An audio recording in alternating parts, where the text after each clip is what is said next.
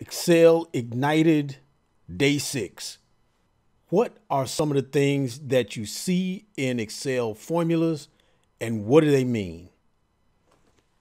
This is what makes formulas work. So, really, you got to get this. And I'm going to talk more through it than give examples because it is more conceptual and you will see plenty of examples as we go through the rest of this month let's start by looking at a big formula that's got a lot of stuff going on in it. We won't dissect this piece by piece, but I just wanted you to see a big formula and some of the things that can go into it, like this single quote, this exclamation point, the dollar signs,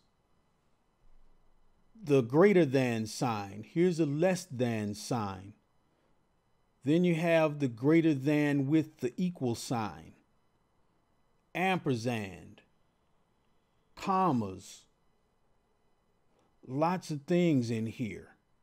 And then you see that this is just an A with a dollar sign, whereas then this is a B32 with a dollar sign. What's going on with some of this stuff?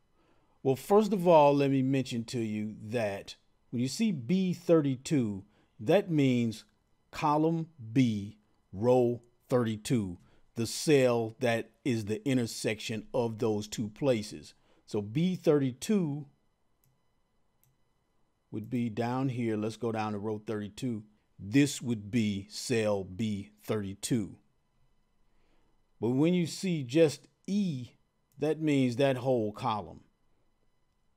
See, the colon represents a range, but then if you have the same thing on either side, you know, E colon E, that means just the column E. All right, let's dig into these one at a time. First up, the equal sign. Equal lets Excel know that we are starting a formula and we're getting ready to do some work. Equal also can be a test, do two things equal each other.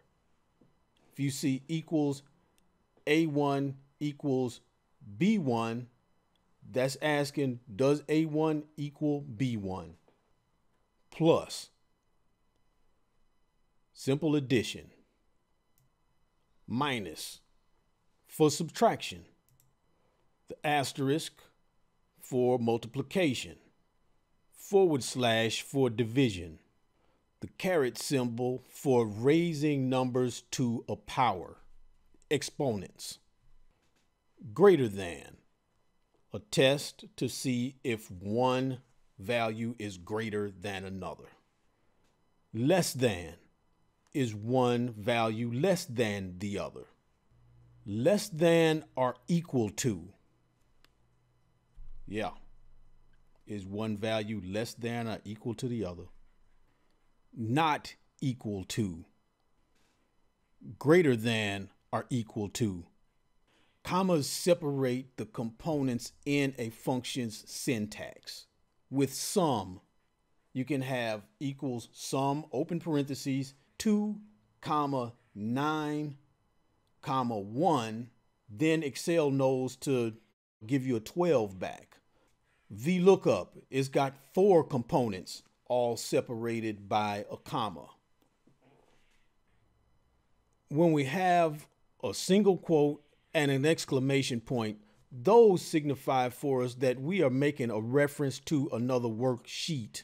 Looking back at this formula, this 2008 in single quotes with the exclamation point, that means we're making a reference to the sheet named 2008.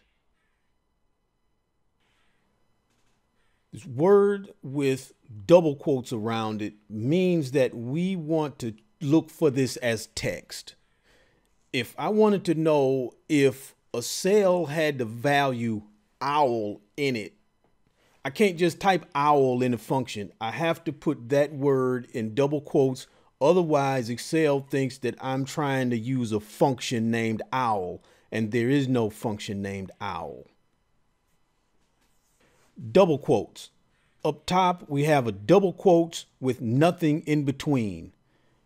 That is a check for nothing or with telling Excel to put nothing in a cell. And on the bottom here, we have the double quotes with the space because a lot of times we do have to look for spaces. The colon represents a range. You might see A1 colon B7. And that means look at the range A1 through B7, that whole range, everything there. The dollar sign, that's absolute and relative cell references.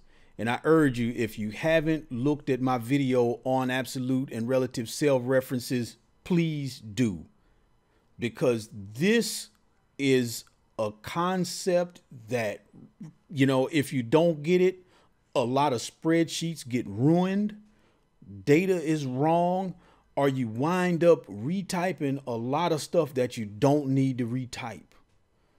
Knowing absolute and relative cell references will keep you out of the lake of fire. Seriously.